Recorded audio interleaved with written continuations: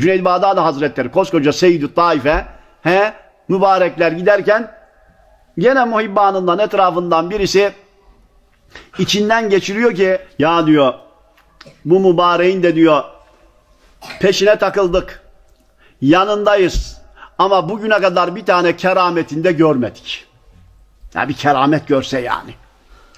Öyle düşünürken Cüneyd Bağdadi Hazretleri tabii müthiş bir zat. Şöyle döndü.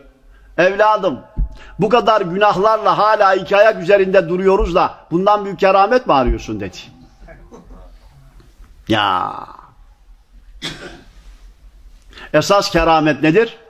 Şeriatte istikamettir. Esas keramet şeriatte istikamet. allah Teala sen niye suda yürümedin diye sana soracak mı? Öyle bir görevimiz yok, mükellefiyetimiz yok yani. Ama namazı soracak. Ama orucu soracak. He? Haram helal konusundaki efendim dikkat etmiyorsan e, Mevla bunları soracak yani. Esas keramet nedir? Şeriatte istikamettir. Bak istikamet, zikzak yapmıyorsun. Sırat-ı müstakimde ilerliyorsun. Sohbetlere devam, namazlara devam, haramlardan kaçmaya devam. Şeriat-ı Garra caddesinde efendim sapmadan sapıtmadan arada bir tökezlesek de yine kalkıyoruz yolumuza devam ediyoruz.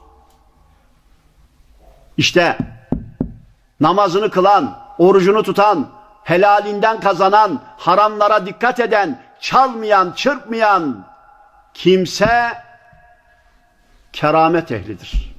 Gidin elini öpün. Veliyullah'tır. Gidin duasını alın.